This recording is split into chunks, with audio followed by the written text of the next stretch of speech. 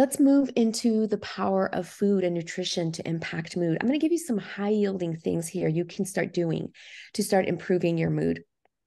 So, uh, just to start with a couple of studies, um, large study of British office workers followed them for five years. Those who were on an inflammatory Western diet had higher rates of depression, and those that were on plant based diets had lower risks of um, depression. And so, what I want you to take away from that is you don't have to become a vegan or vegetarian, but just eating more plants helps.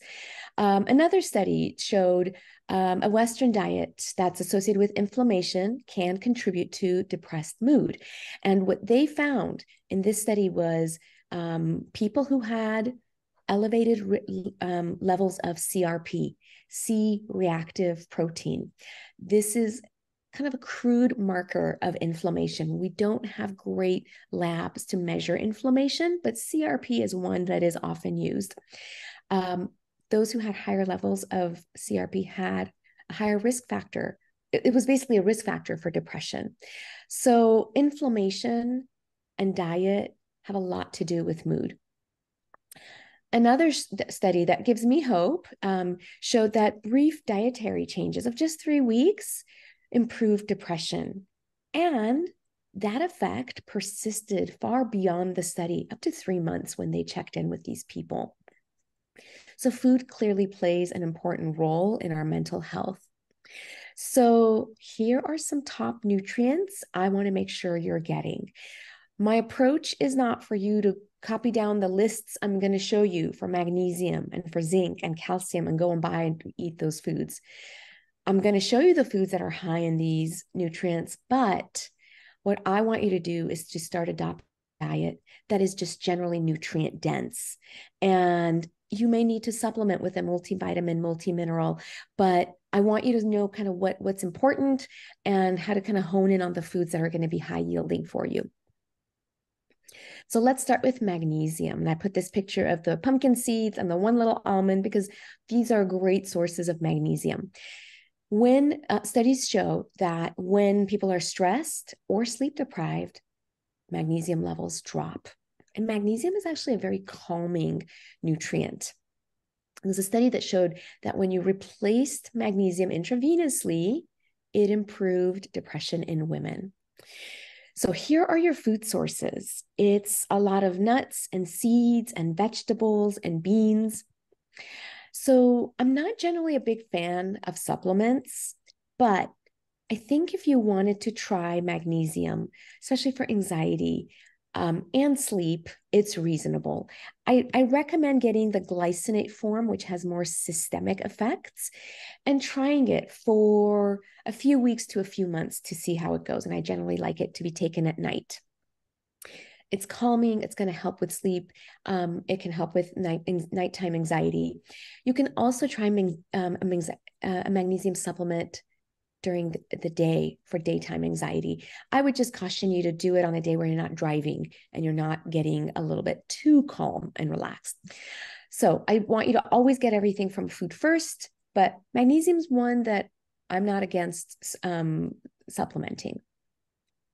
Zinc plays a really important role in neurotransmitters like GABA, which is very calming on the brain, um, 5-HTP, which gets metabolized to serotonin and helps improve mood.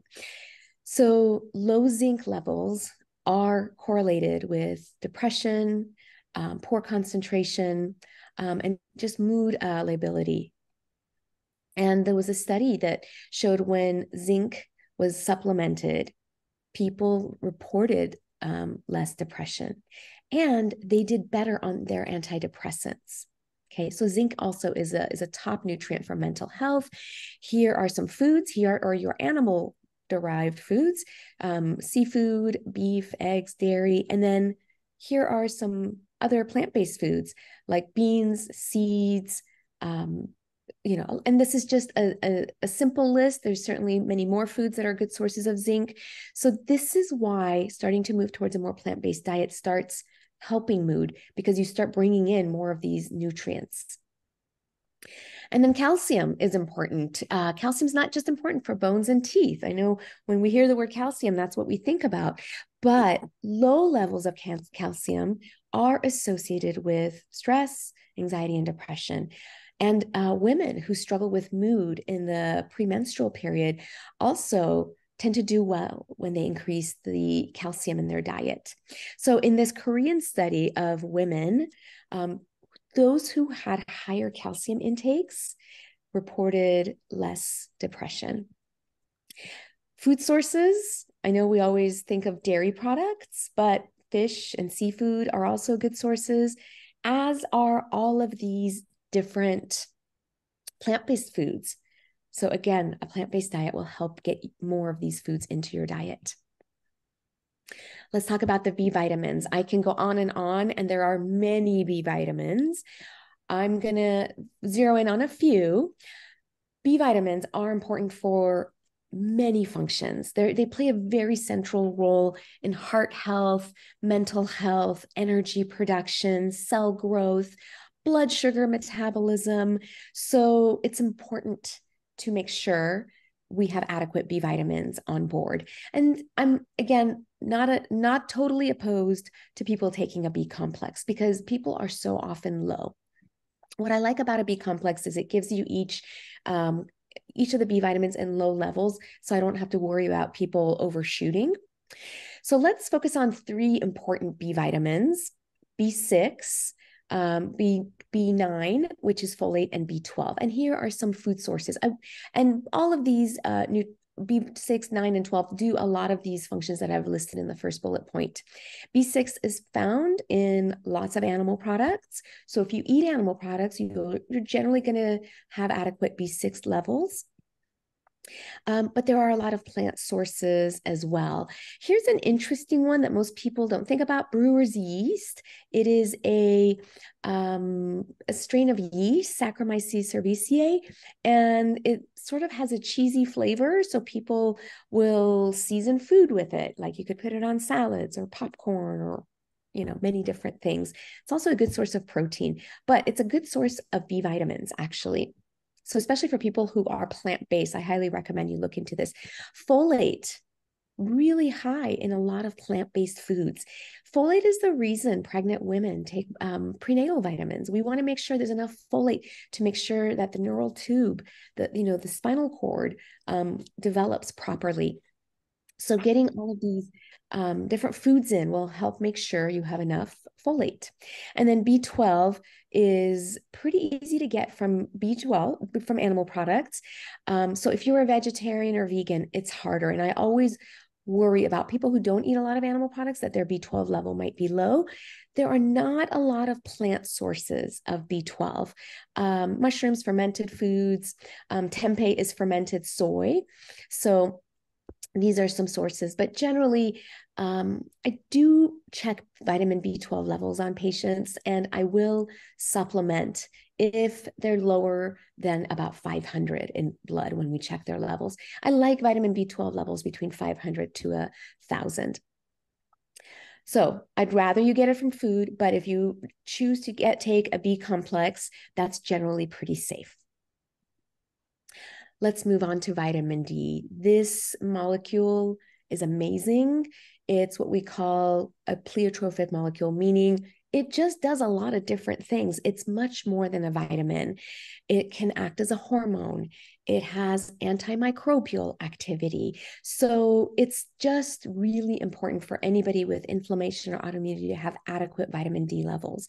And when it comes to mental health, it's important to recognize that there's vitamin D receptors in brain areas associated with mood. And so, um, low mood has been associated with low vitamin D based on studies. And there was this Iranian study that showed when people supplemented with vitamin D3, they reported less severe depression. Okay. And there was a systematic review looking at many different studies, and this one was actually MS specific. Uh, and what they concluded was that there's a positive effect of vitamin D on symptoms of depression in MS patients. Okay. So I hope with any, anybody who's here with MS or auto, other autoimmune diseases or inflammatory diseases, know your vitamin D level. It's as important as the medications you're taking to treat your autoimmune condition. So, uh, the recommendation generally is to get your total serum vitamin D level greater than 40. It's a rare person who can do this without supplementation. I hardly ever see anybody over 40. Most people are hanging out in the teens to the 20s to maybe the low 30s if they're not supplementing. And because many of you here have autoimmunity, I would actually like you to be an overachiever and get your vitamin D level even a little bit higher. So 50 to 60 nanograms per mil is a good total serum vitamin D level. So please check with your doctor to see what's optimal for you. But I like that range of 50 to 60 because it helps optimize the effects of vitamin D on your immune system without some of the problems th- that um, high, high levels of vitamin D can cause. So, for example, people who have osteopenia, osteoporosis, probably should not aim for super high vitamin D levels, much above maybe 70 or 80, because it can impact phosphorus and calcium metabolism and lead to you know calcium loss. But for most of you, a vitamin D level of 50 to 60 is, is a good target range. Food sources. That's why I've got this picture of shiitake mushrooms here. Um, not a lot of food sources for vitamin D, um, but tofu and salmon certainly help. Most of us just need to supplement. And but insurance can be funny about paying for vitamin D checks. So if you don't know what your vitamin D level is and you haven't had one in the last six to 12 months, I would recommend just picking a dose of vitamin D, like 2,000 or 4,000 international units a day. Take that for two, for eight weeks and then go get tested. If you are not on supplementation, it's highly unlikely that you're in my target dose of 50 to 60. I like vitamin D3 with food um, because it gets better absorbed, especially if there's some fat in your food, because vitamin D is fat soluble. And if you had to choose between what form of vitamin D to take, I would take vitamin D3 over vitamin D2. Yeah, vitamin D2 is usually um, dosed once a week. Uh, vitamin D3 is the animal form, has a longer half life, and I generally find it does a better job of bringing up vitamin D levels. And you generally have to take it every day. Don't forget about the sun. Many of us go outside um, covered in clothes, hats, sunblock. So there's really no opportunity to get sun exposure. And if you think back to your ancestors, they weren't wearing clothes. Uh, we relied on our skin to help produce a lot of vitamin D for us. And if you think back to the last slide where I was talking about that Iranian study, how do Iranian women go out? They're covered head to toe. How can they get any sun? And so vitamin D levels plummet. We shouldn't be surprised that and then mood you know gets wacky as a result. So i recommend getting outside and connecting with sunshine. Now even if there's no sun out getting natural light is still useful. You have light receptors in built into your skin. 20 minutes three times a week between 11 and 3 are optimal. It's, is an optimal regimen for getting sun. If you have a personal or uh, family history of skin cancer I would talk to your doctor before doing this. Um, for but for everybody else, just going outside and feeling the sun on your skin is wonderful, and it'll have a good impact on your mood, um, and and your immune system, and vitamin D, and your circadian rhythms. Actually, all right. So another nutrient that's really important again, I worry about people that are vegetarians and vegans because um, oftentimes they can get anemic and have low iron stores. Iron plays an important role in mood in mood because it um, it works at the glutamine and NMDA receptors and GABA receptors. You know, GABA plays an important role in, in anxiety actually. So studies show that when you get somebody's iron levels up, their mood and their level of ability and cognition improves. So, iron is really important beyond just mood and cognition. Um, it's important for energy and, and many other things. So, um, iron is not generally ordered as a as a uh, a regular lab as a routine lab. So um, you know if you've ever had iron issues, maybe somebody checked iron studies on you, but I would look back and see if you've had a ferritin level. Ferritin is your um, is it's a reflection of your iron stores, and so hopefully that number is over fifty. If it's not if it's not over fifty, start by foods. I always like food first because our body has been um, designed to take in food and utilize the nutrients from it. And it's great to actually get your iron sources from both plants and animals because the iron in those two groups differ a little bit. So, um, animal sources um, are listed here. Organ meats are actually really nutrient dense and high in, in iron. So, once a week, if you want to do an organ meat like um, liver or heart, um, you can buy them organic um, and it'll flood you with nutrients. It's just a very dense way of, of just getting a lot of nutrients in. It's very efficient. But if, you, if it's not something you want to do, that's okay. There's so many other foods you could try.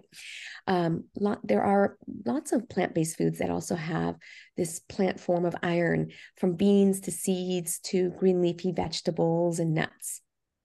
Okay. And then let's move on to omega 3. So um, there was an, a large study done looking at 26 different studies that were looking into the question of what is the impact of omega 3 fat on mental health. And they had over 2,000 participants. What they concluded was that the studies seem to show that um, at about a gram a day of omega 3, with EPA making up at least half half or 60% of the omega 3 content can have some beneficial um, effects on depression. So, you know, there weren't, it wasn't looking like that you needed to do high doses of omega 3 to get the benefit, but the EPA portion seems to be really important. And if you look at um, omega 3 supplements like fish oil, you will see the EPA and DHA listed on the back label. And you will see that the EPA is uh, more prevalent than the DHA component. I will say that in clinical practice, oftentimes naturopathic doctors, integrative medicine, functional medicine doctors will use much larger than a gram a day because they just feel like you need bigger doses to get that um, effect on mood. But um, if you're just listening to this and you want to experiment, I wouldn't go above a gram a day. So, somewhere between a combined dose of the EPA DHA added together, um, adding up to 500 to 1,000 is probably a good place to start. Okay. Do that for two months and see how it goes. If you decide to increase your dose, please talk to your doctor. We want to make sure that you're being safe. There are a couple of issues with high omega 3 intake. Um, so, do also take it as food. Again, not a lot of food sources. So, I would say seafood, um, and flax seeds, chia seeds. You know, some of these foods are good sources, but it's generally not enough just to do foods to see that effect on mental health. So, a trial for of maybe two to three months of taking um, a combined EPA DHA dose of 1,000, 500 to a 1,000 milligrams is reasonable. Don't rely on what's on the front label of the omega 3 supplement because it may include other omega 3s that don't really contribute to this mood effect. So you're only looking at EPA and DHA, you're adding them up and you're aiming for the sum being somewhere between 500 to 1,000. Um, okay, so caution blood thinner, slight blood thinner. And if you're on other blood thinners, I'd be very careful with omega 3. We generally don't like too many blood thinners on board in the same person, especially if they have different mechanisms. So you can kind of have a synergistic effect. This is especially problematic in our older patients where the brain volume has shrunk down and they fall and they can have a bleed in their head. So I always want everybody to be safe or on the side of caution. Go with low doses. If you decide to go higher doses, um, talk to your doctor to make sure it's safe. And then protein is actually really quite important for anxiety and depression. It's where the raw materials for our mood molecules or neurotransmitters come from. So, studies show that about one to one and a half grams of protein per kilogram of your body weight um, can help anxiety and depression, right? So if you are, let's say 50 kilograms, that's that would be 50 to 75 kilograms. Uh, I'm sorry, it would be 50 to 75 um, grams of protein per day. I think we all ha- tend to be protein obsessed, and people feel like they're never getting enough protein and they want to take protein shakes. If you eat animal products, it's not that hard to reach your daily protein goal. If you are vegan, vegetarian, I would do an analysis of your diet to see how much you're getting. And then if you can't add in food sources of protein um, that are plant based, then I would go to a protein supplement. But generally, I don't think most people need to take a protein supplement. Now, I said one to one and a half grams per kilogram of weight. I know some of you don't like the metric system. So I actually had to sit there and do math and figure out what this was in pounds. So you take your weight in pounds and multiply it by 0.45 and 0.65 to get your range. And I guess 0.5 is kind of right, right in between if you kind of just wanted the average. So be careful with overdoing protein High protein levels suppress testosterone. This is important for men and women because testosterone is much more than a male hormone. Women have testosterone as well. Testosterone is actually a modulator of the immune system. And so, if your immune system is not taking away as we would like, and you have an autoimmune or inflammatory condition, it's really important to make sure you have um, good, robust, normal testosterone levels. So don't overdo protein to drive down testosterone. Food sources. So I've gave, given you a list of plant sources. People ask me this question all the time How am I going to get enough protein if you were asking me to eat mostly plants? Well, here are the foods nuts and seeds are great, beans and legumes are great. Soy great source uh, of protein. Um, nutritional yeast, also a great source of um, protein. A couple of tablespoons is, I don't know, like maybe like eight grams of protein. And of course, um, animal products as well, if you choose to have them. So, how do we get, you know, rather than going through each nutrient and trying to address each separately, here's actually the approach I want you to take. We're going to go through a whole foods plant based diet. We're going to eat food as it grows in nature, so it's unprocessed. We're going to eat mostly plants, at least 80%, and eat the rainbow every day. And this is going to flood you with vitamins and minerals and all the antioxidants and anti inflammatory nutrients that you need. So, now, this is something we work towards. It's not something that happens automatically, but I want you to start moving towards a plant based diet. And by 80%, I mean when you look at the surface area of your plate, at least 80% is covered by plants.